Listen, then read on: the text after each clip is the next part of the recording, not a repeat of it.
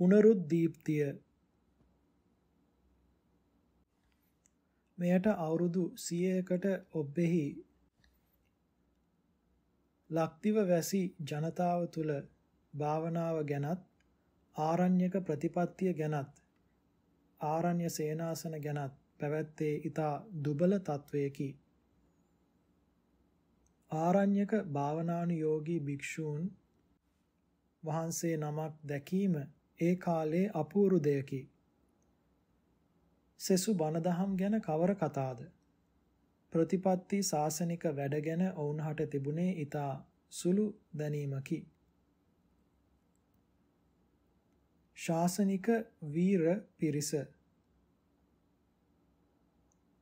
බුදු සසුනට අයත් වැඩ මදින් මද පිරිහෙනු දුටු උදාර අදහස් ඇති වීර පුද්ගලයන් ඒ පාඩුව පිරිමසාලීමට දිවි පුදා ඉදිරිපත් වන හැටි ශාසන වංශ කතාවෙන් අපට පැහැදිලිව පෙනෙයි. ධර්මයේ ඇති මේ මාහැඟි පිරිසිදු මෙහෙයවීම ගැන පවා සිතන අපට පහළවන්නේ निराமிස ප්‍රීති ප්‍රමෝදයකි. අතීතය දෙසසේම වර්තමානයේ දෙසද නුවණින් විමසුම් හෙළන විට මේ කාරණය හොඳින් එලි පැහැදුම් වෙයි. අඳුරු අතීතයේ රාජසිංහ රජුගෙන් සිදු වූ ශාසනික ගුණ විලෝපයෙන් සිදු වූ පාඩුව පිරිමසාලීමට කීර්තිශ්‍රී රාජසිංහ රාජසමයේ පහළ වූ වැලිවිට සංඝරාජයන් වහන්සේ ප්‍රදාන ගුණවතුන් වහන්සේලා ටික නමකගේ වැඩ අදත් අප සතුටින් සිහි කළ හැකි බව තිබේ. කාල විෂම ආදී විපත් නිසා එය වැඩි කලක් පවත්වාගත නොහැකි වූවත් ආරණ්‍යක විදර්ශනා પરම්පරා නාමයවත් අසන්නට ලැබී තිබෙන්නේ ඒ ප්‍රශස්ත ශාසන සංග්‍රහය හේතු කොටගෙනය. ඉන්පසු සසුන් වැඩ අඳුරු අතට හැරුණු දුටු තවත් පින්වතුන් වහන්සේලා කීප නමක් සමකාලීනව වැඩට බටහ. වරාපිටියේ සුමිත්ත ස්වාමීන් වහන්සේ පුවක් දණ්ඩාවේ පඤ්ඤානානන්ද ස්වාමීන් වහන්සේ වැලිගමුවේ අත්තදස්සී ස්වාමීන් වහන්සේ නාපාන සුමන ස්වාමීන් වහන්සේ නෑහින්නේ සුමනතිස්ස ස්වාමීන් වහන්සේ රන්සෑගොඩ සුමන ස්වාමීන් වහන්සේ පුලියංකුලමේ දීපංකර ස්වාමීන් වහන්සේ ආදී උතුමන් වහන්සේලාය. උන්වහන්සේලා උඩපාත දෙරට ආරණ්‍ය විවේක සේනාසන සොයාගෙන සුළු පිරිසක් සමග විදර්ශනා භාවනාවේ යෙදෙමින් සසුන් වැඩ වැඩූහ. අද පවත්නා ආරණ්‍ය සේනාසන පිළිබඳ උසස් හැඟීම පහළ වූයේ පූජ්‍ය වූ මේ පින්වතුන් වහන්සේලාගේ නිර්මල වූ ජීවිත පරිත්‍යාගශීලී උදාර සසුන් වැඩ හේතු කොටගෙන බව නොවලහා කිව යුතු වෙයි. ජීවිතය දෙවනි කොට සුරකි ඒ ගුණයන් පිරීමට උන්වහන්සේලා මැදි වී විසීමට සිටියේ ශාසනික ගුණ කිසිත් නොදත් පිරිසකි. ගුණ නොතකන පිරිසකි. කෙසේ නමුත් උන්වහන්සේලා ලෝකයාට සසුන් ගුණ පිළිබඳ හොඳ පැත්ත අවබෝධ කර දීමෙන් විශාල ජයග්‍රහණයක් ලබාගත්හ. මේ වැඩපිළිවෙල ගිලිහි වැටෙන්නට සූදානම් වන සමයේ ආරණ්‍යක ප්‍රතිපත්තියත් විදර්ශනා භාවනා වැඩත් පුනරුද්දීප්තියකට පමුණුවාලීමේ අභිලාෂ ඇති වීර බුද්ධ පුත්‍රයෙකුගෙන් යතෝක්ත සම්බන්ධය ලැබී පණ ගැසී නැවතත් ආරණ්‍යක විදර්ශනා භාවනා වැඩි දියුණු වන්නට පටන් ගත්තේය. ඒ වනාහි ගරු කටයුතු පඬිත කඩවැද්දුවේ ශ්‍රී ජිනවංශ ස්තවීර පාදයන් වහන්සේ ආරඹු ශ්‍රී කල්යාණි යෝගාශ්‍රමීය සසුන් වැඩ පිළිවෙලයි. ලෝක ව්‍යාප්ත භාවනා වැඩපිළිවෙල 2500 බුද්ධ ජයන්තිය බෞද්ධ පිරිසගේ උනන්දුවට හේතු විය. මේ උනන්දුවෙන් නොමනා සැරසිරි වලට හිත යොදූ පිරිසක් මෙන්ම උවමනා ත්‍රිවිධ ශාසනික වැඩට සිද්ධුන් පිරිසක්ද වූහ. මේ පිරිස නිසා ලෝකයේ බොහෝ පැතිවල පැතිර ගිය භාවනා ව්‍යාපාරයක් උදා වූයේය. බුරුම භාවනාව යයි මෙකල කතා කරන භාවනා වැඩපිළිවෙලද බුරුම රටේ අති සම්භාවනීය මහතෙරුන් වහන්සේලාගේ මාර්ගයෙන් අපේ රටට ලැබුණු ප්‍රශස්ත වූ විදර්ශනා උපදේශ සමූහයකි. විදර්ශනා භාවනා පරම්පරාව අඛණ්ඩව ගෙන ගිය බුරුම පින්වතුන් වහන්සේලා ගිහි පක්ෂයටද උගන්වමින් එය හොඳින් ගෙන යාමට නොපසුබටව උත්සාහ යෙදුවහ. බුරුම භාවනාව ප්‍රස්තාවනානුරූප හේයින් මේ බුරුම භාවනාව පිළිබඳවද වචන කීපයක් කීම සුදුසුයයි සලකමි. බුරුම භාවනාව යයි මෙකල කතා කරන්නේ උගත් සම්භාවනීය වූ බුරුම රට මහතෙරුන් වහන්සේලා පරම්පරාවෙන් පරම්පරාවට නොකඩවා පවත්වා මේ කාලය දක්වා එනු ලබන බුද්ධ සම්මත විදර්ශනා භාවනාවකටය. සංස්කාර ධර්මයන්ගේ යථා තත්ත්වය දැනීම විදර්ශනා භාවනාවේ ප්‍රධාන අදහසයි. එයින් නාම රූප ධර්මයන් බෙදී වැටෙන් වැටහෙන්නට සලස්සා ගැනීම ආරම්භ වැඩපිළිවෙලයි. එයට සීල විසුද්ධියත් චිත්ත සමාධිය වූ චිත්ත විසුද්ධියත් උපකාරී වෙයි. මෙය සපයා ගැනීමට උදරයේ පවත්නා වායෝ පොට්ටබ්බ රූපයට සිත යොදා එය අරමුණු කොටගෙන භාවනාව පටන් ගනිමින් චක්ෂුරාද්‍රී ඉන්ද්‍රියන් ඉන්ද්‍රිය ద్వාරයන්ට හමුවන අරමුණු එකක් නොහැර වර්තමාන වශයෙන් මෙනෙහි කරයි.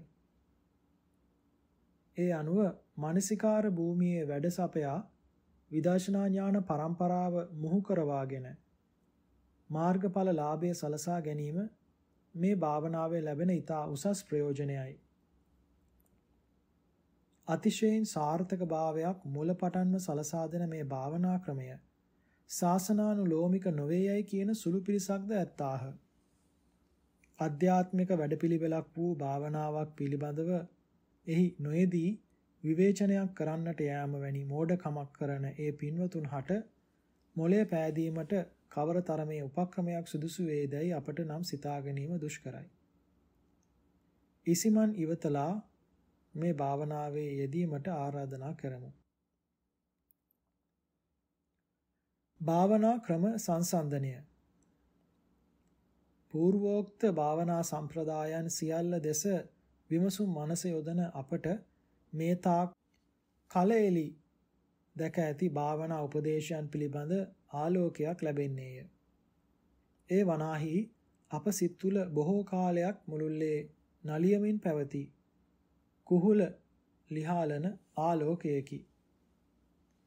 අරහත් මාර්ගය තෙක් උගන්වාලන සකලාංග උපාංග සමන්විත වූ නොයෙක් භාවනා ක්‍රමයන් අපේ පැරණි පුස්කොළයන්හි පුස්කොළ පොත්වල ලියවී ඇතිවන්නට පිළිවන යන කුහුල් දැන් බොහෝ දුරට සංසිඳී ගිය හේිනි. එසේම දැනට යම් කවර ක්‍රමයකිනුත් එලි දැකුම නොලත් හෙළිදරව්හි පැවති භාවනා ක්‍රමයක් ඇතිවිය නොහැකි යන හැඟීමද මේ සම්බන්ධව සියුම් අන්දමින් විමසීමේදී අප සිත් තුළට ආවේය.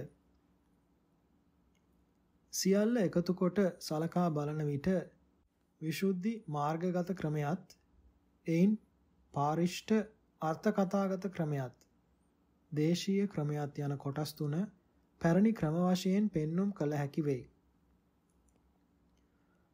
සම්පූර්ණ භාවනා උපදේශයක අන්තර්ගත විය යුතු කරුණු මේ එක කොටසක් හිවත් ඇතැයි කිව නොහැකිය. යම් කිසි හැඟීමක් උඩ ආදි කම්මිකයා විසින් අවශ්‍යයෙන් දතියුතු දේ නොකියා හැර තිබේ යයි කීමට බොහෝ දෙනා විරුද්ධ වන්නට පුළුවන්. එහෙත් එය සිදු වී තිබෙයි. නිදර්ශනයක් වශයෙන් එක් කරුණක් දක්වන්නට අදහස් කරමි. සමත භාවනාවේදී අරමුණට පිටතින් ඉන්ද්‍රියන්ට හමුවන හැම අරමුණක් ගැනම පිළිපැදිය යුත්තේ අසති අමනසිකාරයයි.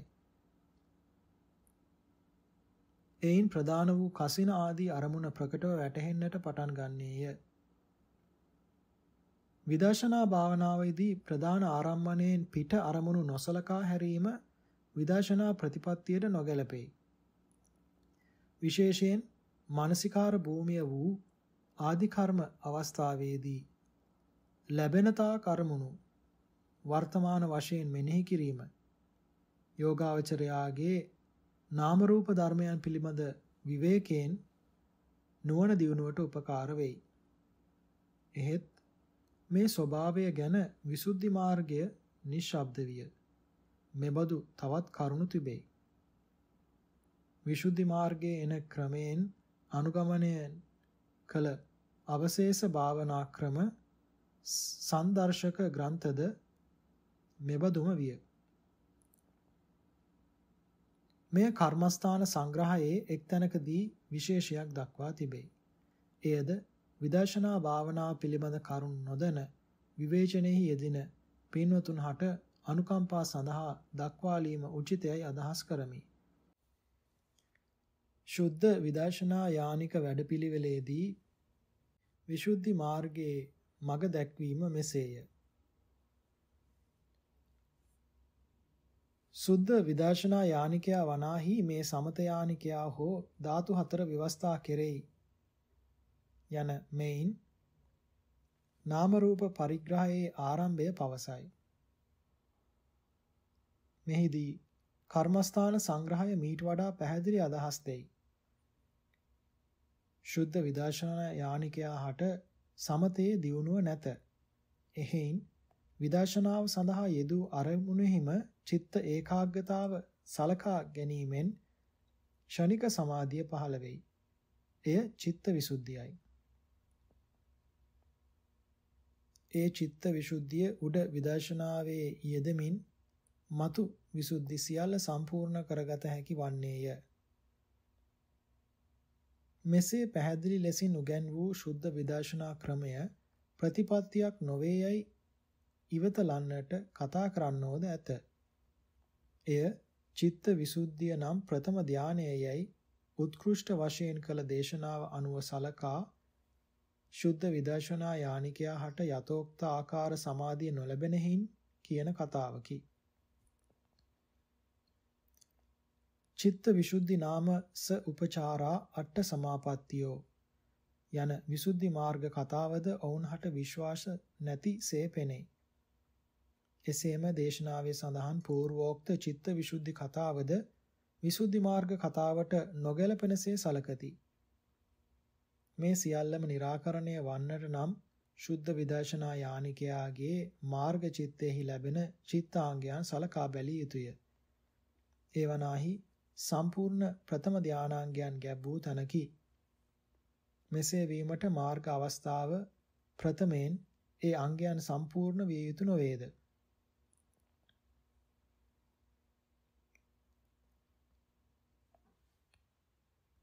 අට කතාගත භාවනා ක්‍රමය අට කතාව ආසියලු භාවනා ක්‍රමයන් බුද්ධඝෝෂ ආචාර්යයන් වහන්සේ විසින් විසුද්ධ මාර්ගයේහි ඇතුළත් කළ බව අත්තසාලිනියේ කියයි. එහෙත් එහි ඇතුළත් කිරීමට ඉඩ නොලද සුළු සුළු ක්‍රමයන් විනය අටුවා විජම් අටුවා ආදීෙහි පෙන්වා දෙන ලද බව පෙනේ. අට කතාගත භාවනා ක්‍රමයේයි පැවසුනේ මේ කොටස් සඳහාය. අටුවාවන්හි මතභේදයන් පහළ වූයේ ඒ ඒ බානක પરම්පරා මතභේදයන් අනුවය. ඒ කවර මතභේදයක් වුවත් බුද්ධ මතයේහි ඇතුළත් නොවෙතහොත් ඒ ඉවත දැමිය යුතුය. භාවනා ප්‍රතිපත්තිය පිළිබඳවද සැලකිය යුත්තේද මේ ටිකය. භාවනා කාල නියමය භාවනාවට හිඳගත යුතු වේලාව හා එහි ගත කළ යුතු වේලාව හා දිනකට එහි යෙදිය යුතු වාර ගණන විසුද්ධි මාර්ගයේහි පැහැදිලිව දක්වනුයේ නැත. බුද්ධඝෝෂ ආචාර්යින් වහන්සේ ඒ තීරණය පුද්ගලයා අනුව කිරීමට කර්මස්ථාන ආචාර්යින් හට ඉඩ තබන්නට ඇත. එයින් පිටත් අටුවාවන්හි මේ පිළිබඳ විශේෂ තොරතුරු දක්වා ඇත. පසුබත් කාලයේ භක්ත සම්මදයට ඊට අසුළු කලක් ඉඩදී භාවනාව පටන් ගත යුතුසේ බොහෝ තැන් සඳහන් වෙයි. පටන්ගත් භාවනාවට යටත් පිරිසෙයින් තුන් පැයක් හිඳිය යුතු බවද දවසකට තුන්වරක් එසේ හිඳගත යුතු බවද සඳහන් වේ. එසේම ද්වත්තිංසාකාරයේ පංච චක්කයන්ට කාලය බෙදා දී ඇත්තේය. පුරුද්දට අනුව ක්‍රමයෙන් හිඳගෙන ගෙවන කාලය දික්කර ගැනීම යෝගාවචරයාගේ తත්වයේ අනුව සිදුවිය යුත්තේය. ආසනය ආනාපානසති භාවනාව ප්‍රකාශ කරන තැන්වල මුලදී පල්ලංකං ආභුජිත්වා උජුං කායං පනිදාය පරිමුඛං සතින් උපට්ඨපෙත්වා යයි සඳහන් වෙයි. මෙයින් ආනාපාන සති භාවනාවට ඌරුබද්ධාසනය හා කය කෙලින් තබා ගැනීම අවශ්‍යකය. නියමන්දමින් ආසන ක්‍රමය සකස් වුවහොත් චිත්ත ඒකාග්‍රතාව පහසුවෙන් ලැබෙයි. චිත්ත ඒකාග්‍රතාව භාවනා සමෘද්ධියයි. මෙසේ මෙම ආසනයෙන් හෝ පద్මාසනය සිද්ධාසන ආදී ක්‍රමෙන් හිඳ ගැනීමට නොහැක්කෝද ඇත්මයි. ඔවුන් විසින්ද යම්කිසි පහසු ක්‍රමයකින් භාවනාවේ යෙදීමට සිතර ගත යුතුය. ඒ කියන හිඳීම අපහසු වුවත් භාවනාව අතපසු කිරීමට නුවණට හුරු නොවේ. පුරුදු භාවනාව කරගෙන යාම සතර ඉරියව්වේම වරද නැත. එහෙත් සයනය තීන මිද්දේට උපකාර වන හේයින් එය අඩු කරගත යුතුය. සක්මන් භාවනාවේදී විශේෂයෙන් සලකා ගත යුතු වනුයේ විදර්ශනා භාවනාවේ යෙදෙන්නවුන් විසිනි. විදර්ශනාවේ යෙදෙන යෝගාවචරයා විසින් සක්මනේදී මෙනෙහි කළ යුත්තේ සක්මන සඳහා යොදන කායික මානසික ක්‍රියා සහ සිතුවිලිය. එකල ඒ අනුව විදර්ශනාව දියුණුවට පත්වෙයි. භාවනාවේ විශේෂ චාරිත්‍ර සක්මන් භාවනාවේ නියම ක්‍රමයෙන් බොහෝ වේලාවක් ගතකොට ආසන භාවනාව පටන්ගත් විට පහසුවෙන් සිතේ තැම්පත්කම ලැබෙයි. එහෙයින් ආසන භාවනාවේදී සිත එකක නොවේ නම් සක්මනට බැසිය යුතුය. එසේම දිවා කාලයේ ආසන භාවනාව පටන් ගන්නට ප්‍රථමයෙන් අත්පා හෝදාගෙන සිහිල් කරගෙන එයට බැසීමද ඉක්මනින් සිත එක කර ගැනීමට උපකාර වෙයි. තවද සක්මන හා ආසනය යන මේවා පිරිසිදුව තබා ගැනීමට උනන්දු විය යුතුය. අපරිසුද්ධ බාහිර වස්තුන් නිසා ආධ්‍යාත්මික වස්තුවල බලයද නොදැනීම පිරිහී යන්නේය. මේ හේතු කොටගෙන භාවනාවේ ඉදිරියට යාමද නවතින්නේය. ශක්තියද ඇද වැටෙන්නේය. තමාගේ අනික් පරිස්කාර ගැනද කිව යුත්තේ මේ ටිකමය. විවේක සම්පත්තිය භාවනාවට විවේකය වටිනා සම්පතකි. ඊටමත් ප්‍රයෝජන වෙයි. චිත්ත ඒකාග්‍රතාවයට එය ආහාරයකි. ඒ විවේකයේ සැලසෙන්නේ තමා අවට ඇති පරිසරය හොඳ අතට හරවා ගැනීමෙනි. භාවනානුරූප සේනාසනය ගැන විස්තර භාවනා උපදේශ ග්‍රන්ථයන්හි සඳහන් වෙයි. නොගැලපෙන ඍතු ගුණය හා පුද්ගලයන් පිළිබඳ සලකා බැලීම විශේෂයෙන් කළ යුතුය. ඒවා නරක් වීම භාවනාවට බරපතල බාධාවකි.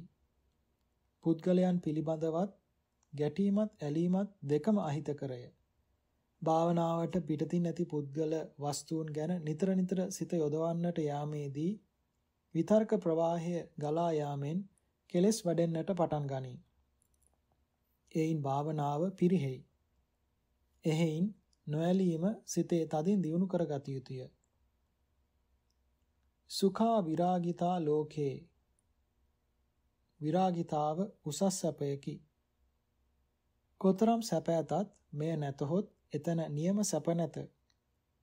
කෙලසුන්ගෙන් ඈත්වීම හෝ සම්පූර්ණයෙන් කෙලෙස් බලපෑමෙන් ඈත්වීම භාවනාවේ පරමාර්ථයයි.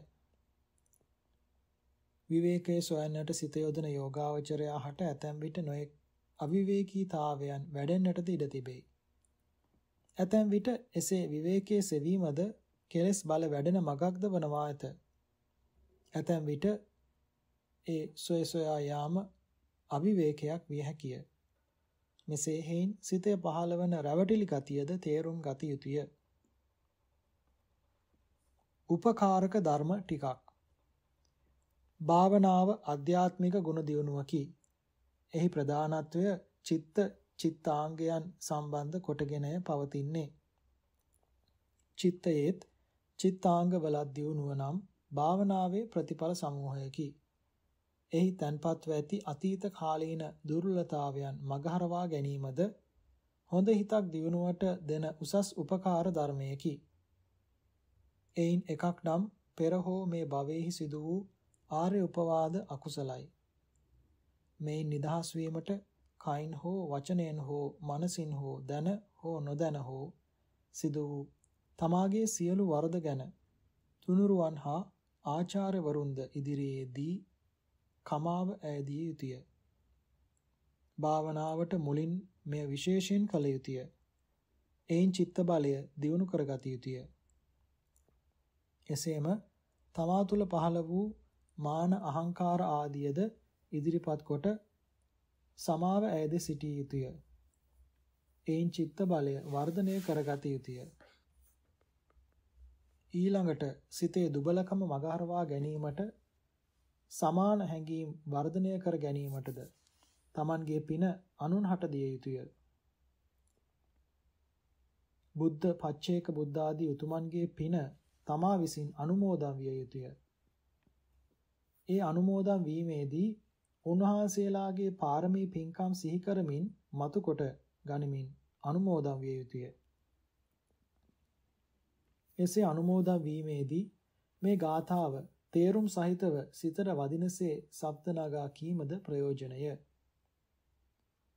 පුඤ්ඤංචයං සබ්බ තථාගතානං අඤ්ඤේච සම්බෝධි පරායනානං පච්චේක බුද්ධ සච්ච ශාවකානං සබ්බං ගුරුණං අනුමෝදයේසිසෝ යනුයි. තේරුම සියලු බුදුවරයන්ගේ යම් පින් රසක් වෙයිද? බෝධිසත්වයන්ගේ යම් පින් රසක් වෙයිද? පසේ බුදුවරයාණන්ගේද? ශීනාශ්‍රවයන් වහන්සේ ආදී ආර්යයන් වහන්සේලාද? ආචාර්යයන් වහන්සේලාගේද යම් පින් රැසක් වෙයිද? ඒ සියල්ල අනුමෝදන් වෙමි. යනු එහි අදහසයි. උපදේශ සාරාංශය භාවනාව පිළිබඳ අට කතාවල ඒ ඒ තන්වල දක්වන ලද කරුණු සම්පින්ඩණය කොට තේරුම් ගන්නට සැලැස්වීමද මෙහිදී ප්‍රයෝජනවත් වේ යයි සලකමු. එහෙත් විදර්ශනා භාවනාව පිළිබඳ අභ්‍යන්තර බාහිර වශයෙන් ලැබෙන සියලු කරුණු හා ලැබෙන තාක් ඒ ඒ අවස්ථාවන්ද එකක් පාසා ආධිකම්මික යෝගාවචරයා ඉදිරියෙහි තැබීමද එතරම් ප්‍රයෝජනවත් නොවනවා ඇත. එහිදී ගුණ ප්‍රතිලාභයෙන් දියුණු වූ පින්වතාට තමා ඉක්මවාලු දුෂ්කරතා මාර්ගයත් ලබන ලද උසස් ගතිගුණත් දැන ගැනීම නම් ප්‍රයෝජන වනවා ඇත. මේන් పూర్ව කෘත්‍ය සපයාලීමට අයත් සීල විසුද්ධිය හා විවේක සමෘද්ධියෙන් චිත්ත විසුද්ධියද සම්පූර්ණ කරගත් යෝගාවචරයා හට ඇත්තේ සංස්කාර පරිග්‍රහයට සිත යොමු කිරීමය හෙවත් මානසිකාරය ආරම්භීමය මේ ආරම්භයට අටුවාවල සඳහන් වන්නේ අබිනිවේෂය කියාය. ඒ අබිනිවේෂය තමාගේ సంతාණයට අයත් වූ යම් යම් කොටස් මෙනෙහි කිරීම වශයෙන් අජ්ජත්තාබිනිවේෂය කියාද එයින් පිටත බාහිර කොටස් එනම් සංස්කාරයන් මෙනෙහි කිරීම වශයෙන් බහිද්ධාබිනිවේෂයයිද දෙආකාර වෙයි. වුට්ටාන නම් වූ මාර්ග පහළ වීමද මේ දෙආකාරයෙන්ම ලැබෙයි. ඒ අනුව අබිනිවේෂයත් වුට්ටානයත් පිළිබඳ විස්තර මෙසේ කොටස් වෙයි. 1. අජ්ජත්තං අබිනිවේසෙත්වා අජ්ජත්තං වුට්ටාති 2. අජ්ජත්තං අබිනිවේසෙත්වා බහිද්ධා වුට්ටාති 3. බහිද්ධා අබිනිවේසිත්වා බහිද්ධා වුට්ටාති 4. බහිද්ධා අබිනිවේසිත්වා අජ්ජත්තං වුට්ටාති 5. රූපේ අබිනිවිසිත්වා රූපා වුට්ටාති 6 රූපේ අබිනිවිසිත්වා අරූපා වුට්ටාති 7 අරූපේ අබිනිවිස්වත්වා අරූපා වුට්ටාති 8 අරූපේ අබිනිවිසිත්වා රූපා වුට්ටාති 9 ඒකප්පහාරේනේව පඤ්ඤක්ඛන්දේහි වුට්ටාහි යනාදී ක්‍රමෙන් ඒ දක්වන ලද්දේය. මෙහි අජ්ජත් බහිද්දා රූපාරූප පංචක්ඛන්ද ලක්ඛනත්ය යන මොවුන් අනුව කොටස් කිරීම සිදුවිය. භාවනා ආරම්භය ආරම්මණයට අධ්‍යාත්ම පර්යාපන්න සංස්කාරයන් ඉදිරිපත් කර ගැනීමත් එහි නාම රූප පරිච්ඡේදය කිරීමත් අජ්ජත් අබිනිවේෂය වෙයි. එයින් පසු මමත්වයෙන්ගත් වස්තුවල පැවති විපල්ලාසද නැති විය යුතු හේයින් එහිදී විදර්ශනාව කෙරෙයි. එය දියුණු වීමෙන් අනුපාදින්නක සංස්කාරයේද අරමුණු කොට විදර්ශනාව කෙරෙයි. එයට පසු ඒ අරමුණු කොට පැවති වේදනාව සම්මර්ෂණයට ගොදුරු වෙයි. එය මෙනෙහි කරයි. සංඥා සංඛාර විඥාන අරමුණු වෙයි. එය මෙනෙහි කරයි. මෙසේ යෝගාවචරයා රූපයත් අරූපයත් දෙකම ලැබෙන ලැබෙන හැටියට මෙනෙහි කරයි. නාම රූප විවස්ථානය සම්පූර්ණ වීමෙන් අධ්‍යාත්මගත ධර්මයන් මෙනෙහි කිරීමේදී මාර්ගලාභය වෙයි. ඒ අජ්ජත් වුට්ටාන නම් වෙයි. සෙසු කොටස්ද මේ ආකාරයෙන් සිදුවන සැටි සැලකිය හැකි වෙයි. නවවෙනි කොටසෙහි පංචස්කන්ධයන් එක පැහැර නැගී සිටීම නම් ශාස්ත්‍රුන් වහන්සේගේ සම්මුඛයේදී උන්වහන්සේගේ සාමුක්කාංශික ධර්මදේශනාවට හිත මෙහෙයවන නුවණින් අධික වූ උපනිශ්‍රය අධික පුද්ගලයන්ට ලැබෙන පිළිවෙලයි. එහිදී වුට්ටානගාමිනී විදර්ශනාව සියලු ධර්මයන් අනිත්‍ය ආදී වශයෙන් ඒකත්වයෙන් සමාන කොට ගැනීමෙන් මාර්ග චිත්තයට සම්බන්ධ කරලීමෙන් සම්පූර්ණ වෙයි. මේ විදර්ශනා භාවනාව පිළිබඳ ආරම්භයත් పూర్ව අවසානයත් වශයෙන් දැක් වූ අබිනිවේෂ උත්තාන දෙක අතර කාලයේද ඇතැම් පුද්ගලයන් හට ඊටමත් කෙටිය. ඇතැමුන් හට මධ්‍යමය. තවත් කොටසකට බොහෝ දිගය.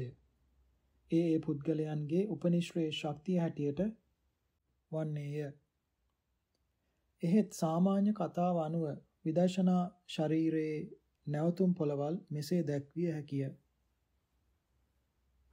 මහා භූත හතර පරිග්‍රහණය කිරීම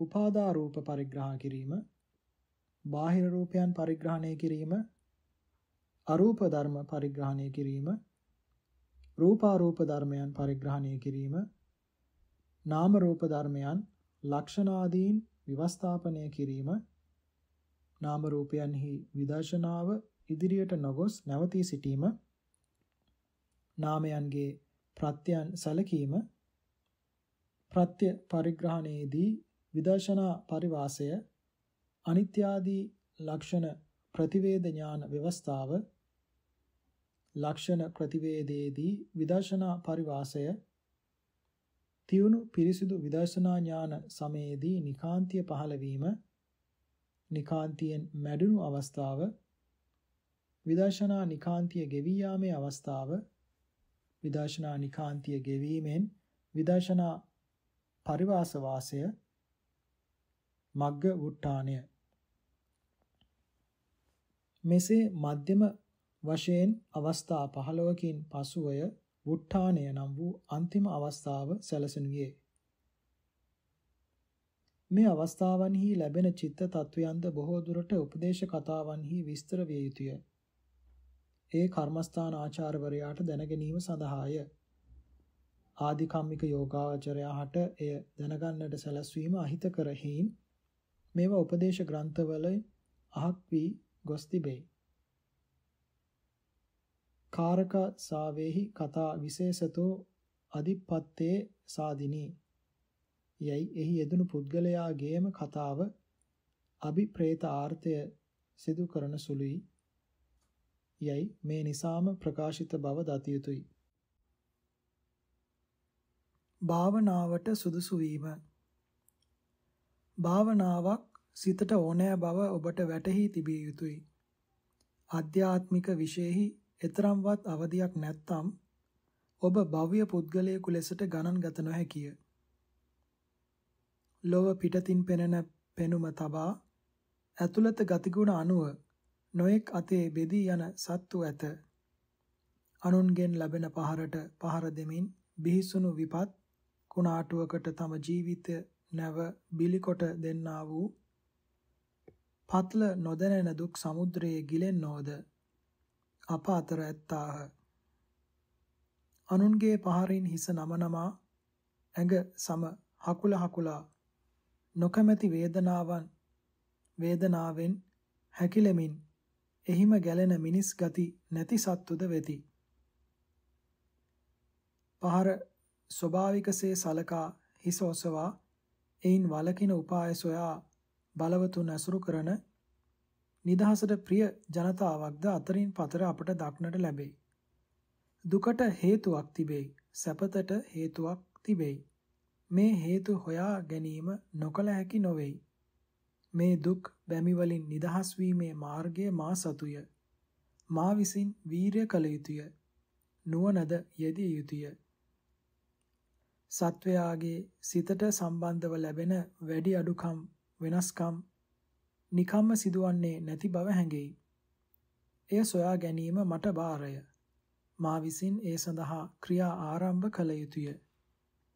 චිත්ත පාරිශුද්ධිය මේ ශ්‍රේෂ්ඨ ක්‍රියාවට ਸਰව ප්‍රකාරයෙන් උපකාරී වෙයි. යනුවෙන් සලකන පුද්ගලයා භව්‍යකි. මෙයින් ඔහුට සංවරය ඕනෑ වෙයි. එය දියුණු කරගත හැකි වෙයි. කයින් වැරදි නොකරයි. බසින් වැරදි නොකරයි. මේ අනුව සිත තැම්පත් කරගනී. තැන්පත් හිතට හොඳ නොහොඳ මග නොමග පිළිවෙත නොපිළිවෙත ඇත්ත නැත්ත වැටහීම් ශක්තිය ලැබෙයි.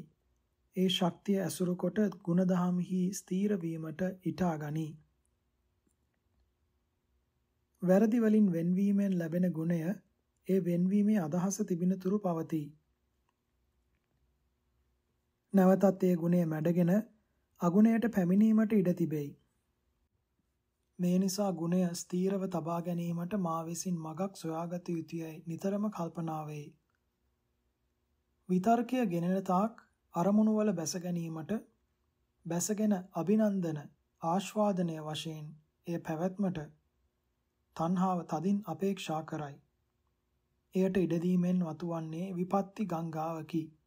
උවදුරු සොලි සුළඟකි. පරත්තරක් නැති මහ අඳුරක පුද්ගලයා හෙලයි. විෂම කමින්, වියරු කමින් සතුන් අන්ත දුක් මගක හෙළන මේ තණ්හාව මා විසින් දත යුතුය. එහි ඇති රවටන ගතිය තේරුම් ගත යුතුය. ඇද ගන්නා ගතිය වටහා ගත යුතුය. ඒ නිදහස් වීමට සිත යොදන මට ඊට වඩා බිහිසුණු අන්දමින් බැඳ වසාගෙන සිටිනා දිට්ඨිය ඉදිරිපත් වන්නට පුළුවන්. මේ සංසාරය නරක අන්දමින් පෙළෙන්නේ මේ දිට්ඨියේ බලපෑම නිසාය. අරමුණට වේගයෙන් බස්නා මේ දිට්ඨිය නොඑක් අතින් දලුලන විශාල ලතාවකට සමානය. මේ මා විසින් තේරුම් ගත යුතුය. මේ දෙකටම මුල්ව පවත්නා ඇත්ත වසාගෙන ඇසට වැසුණු පටලයක් බඳු අවිජ්ජාව තිබෙයි. මෙය මා විසින් දත යුතුය. හැම දෙයක්ම යට කරගෙන යන ඕග නාමයෙන් කතා කරන මේ කෙලෙස් බන්ධන නැති කිරීමේ පිහිටක් මට නැද්ද? යනුවෙන් මෙසේ ඔහුට විමසුන් වන පහළ වෙයි. මේවා ඔබට පිහිටවන ධර්ම సంతානයයි. ඔබ දුබලකම් ගලවාගෙන යන ආයුධයයි. ඔබ ඇතුළත දියුණු වන්නට යන ශක්තිය වසා සිටින මුලා පටලය රස ආජඤ්‍යයයි. විපත් වැලකීමට පරිත්‍රාණයයි. නියම මග ඇරලන කලන මිතුරු ආශ්‍රයයි. නොදනුම් අඳුරට දෙන එලියයි. කෙලස් කුණු සෝදාලන ස්නාන වතුරයි. පාප විෂ වනගහණය වියලවන කල්පාන්ත සූර්ය මණ්ඩලයකි. මේ තරම් මේ පිළිබඳ ගුණ වර්ණනා කළේ මේ ධර්මයන් ඔබ සිත් තුළට තදින් වැදීම සඳහාය. මේවාට වීරිය ගුණයත් එකතු කොටගෙන මේ ධර්ම පහේ වටිනාකමත් ඒවා එකක් පාසා නැති විට සැලසෙන පාඩුවත් නුවණින් සලකා බැලිය යුතුය. ඔබ අවට දෙසට විමසුම් හෙලන්න. ඔබ తත්වය බොරුවෙන් උසස් කොට පෙන්වා ඔබ තුල පුහුමානයක් වපුලා පැලකොට ගුණයට ගුණවතාට නොනැමෙන තැනට ඔබට අවවාද අනුශාසනා දෙන්නෝ ඇත. මෙයින් ඔබේ සිතට වැළඳෙන රෝගය සුව කර ගැනීමට පහසු නැත.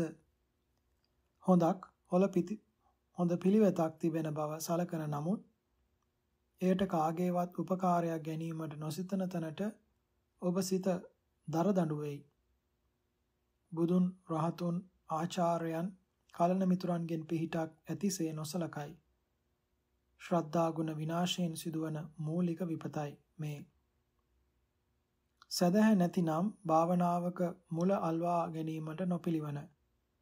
එහෙයින් බුද්ධ ආදී උතුමන් කෙරෙහි දැඩි භක්තිය වර්ධනය කර ගැනීමෙන් ශ්‍රද්ධා දියුණු කරගත යුතුය. ගුණධර්ම පක්ෂය අල්ලා ගැනීමට හැකිවන්නේ මේ ශ්‍රද්ධා බලයෙනි. ශ්‍රද්ධා හීනත්වයෙන් වියලුණු සිත කාර්යක්ෂම නොවේ. මුඩු බිමක් වැනි වෙයි. භාවනා ආරම්භණයට තදින් ඇතුළු වන මේ ශ්‍රද්ධාව ඔබ තුල හොඳින් දියුණු කර ගැනීමට සිතට ගත යුතුයි. ශ්‍රද්ධාවේ තිබෙන වටිනාකම දන්නා යෝගාචරයා පළමුවෙන් ජීවිතය පරිත්‍යාග කරයි. එය මෙසේය. මම මාගේ බුදුරජාණන් වහන්සේට ජීවිතය පූජා කරමි. මම මාගේ ධර්ම රත්නයට ජීවිතය පූජා කරමි. මම මාගේ සංඝ රත්නයට ජීවිතය පූජා කරමි. මම මාගේ ආචාර්යයන් වහන්සේට ජීවිතය පූජා කරමි යනුවෙනි. මෙසේ කිරීමෙන් භක්තිය වැඩි විශ්වාසය තහවුරු වී එහි යටින් ඇති අර්ථය සම්පූර්ණ කරගත හැකි වන්නේය. ආචාර්යයන් වහන්සේ කෙරෙහි හෝ කර්මස්ථානයේ කෙරෙහි හෝ සැකය පහළ නොකර ගත යුතුය. චිත්ත භාවනාවක යෙදෙන්නාහට පහළවන සැක වහාම සංසිඳවා ගත යුතුය. නැත්නම් සැකයේ විසින් ඒ පුද්ගලයා පුදුම අන්දමේ මහත් විපත් රසකට ඇද දමනු ලබනවා ඇත. ඉමාහං අත්ත බවං බුද්දස්ස භගවතෝ පරිච්ඡාමි. ඉමාහං අත්ත බවං ධම්මස්ස භගවතා පරිච්ඡාමි. ඉමාහං අත්ත බවං සංගස්ස භගවතෝ පරිච්ඡාමි. ඉමාහං අත්ත බවං ආචරියස්ස පරිච්ඡාමි. අද්දාය ඉමාය පටිපාදාය ජාති ජරා මරණම් වා පරිමුච්චිස්සාමි. ඉමම් මේ පුඤ්ඤං ආසවක්ඛයා වහං හෝතු. යනු ඒ අදහස පාලියෙන්ම කියන වාක්‍යයයි මේ ශ්‍රද්ධාවේ අගය ඔබට වැටහීමට හොඳින් භාවනාවේ යෙදිය යුතුය. ඇතැම් විට එය බොහෝ දුරට වැඩි ගොස් උසුලන්නේ නැති තරමටද වැඩිවන්නට ඉඩ තිබේ. කරුණු සැලකීමේ නුවණ එහිදී යොදාගත යුතුය. ධර්ම తත්වය වසාගෙන සිටින අවිජ්ජාව, දිට්ඨිය යන මේ කෙලෙස් බල කපා දැමීමට ප්‍රඥාව අවශ්‍යය. නපුරු මගක යන ඔබට ඉදිරියට එන බාධක මගහරවා ගැනීමේ ශක්තියත්, නිර්භය ගතියත් අතේ ආයුධයක් තිබ්බොත් ඔබට සැලසෙයි. ප්‍රඥාව තිබීමෙන්ද යෝගාවචරයට සැලසෙන්නේ මේ සැනසෙල්ලයි. කල දේත් කරන්නට තිබෙන දේත් ගැන තනට සුදුසු සිහිය එළඹ පවතින්නේ නැත්නම් ඔහුට යම් කවර තරමේ සැපක්වත් තහවුරු කරගත නොහැකිය. ඊට වඩා යෝගාවචරයා හට හැම තැනම සතියෙන් හා නුවණින් යුත් සිත් පෙළක් යොදන්නට පුළුවන් විය යුතුය. තමා ඉදිරියටපත් වැරදි දේ අයින් කිරීමටද හොඳ දේ අත්පත් කර ගැනීමටද මේ අතිශයින් උපකාරී වෙයි. සතිය සමාධියෙන් තැම්පත් බවට හරවා ගත යුතුය. වීරියෙන් යොමු කොටගත් සිතුවිලි පෙළ උනන්දු කරගත යුතුය. මෙසේ මේ උපකාරක ධර්ම පරම්පරාව හොඳින් පවත්වා ගැනීම නිසා සිතේ සිත් පෙළේ බැඳෙන මල ගතිය සේදී ගෙවි යන්නේය. ඒ වෙනුවට පහළවන්නේ පිරිසිදු චිත්ත පරම්පරාවකි. අරමුණට බැස ගන්නා අල්ලා ගන්නා ස්වභාවය නිසා එපා නොවේයි. ඕනෑකම වැඩෙයි. සතිය නිසා මගහැරී යා නොදී ඉදිරිපත් වීම සිදු වෙයි. සමාධිය නිසා එය විසිරී යා නොදී තන්පත්කම සිදු වෙයි. ප්‍රඥාව නිසා ඇතුළු වීමට සුදුසුකම සැලසෙයි. මේ ගුණ බලය ඔබේ සිතට වද්දා ගැනීමට ඔබ උනන්දු නොවන්නේ මන්දයි දැන් ඔබටම ප්‍රශ්න කරන්නට සිදුවනවා ඇත. භාවනා ක්‍රමය භාවනා ක්‍රමය දැන් ඔබ ඉදිරියට පැමිණෙයි. එය මේ තාක් ප්‍රකාශයට පත් කරුණු පත් කෙරුණු කරුණු අනුව සාර්ථක වැඩපිළිවෙලක් බව ඔබට මනවින් වැටහි ගොස් ඇත. දැන් එහි යෙදෙන්නට සිතන්න. මෙහි සඳහන් කෙරනු ලැබෙන්නේ ඒ පිළිබඳ සංක්ෂිප්ත කතාවකි.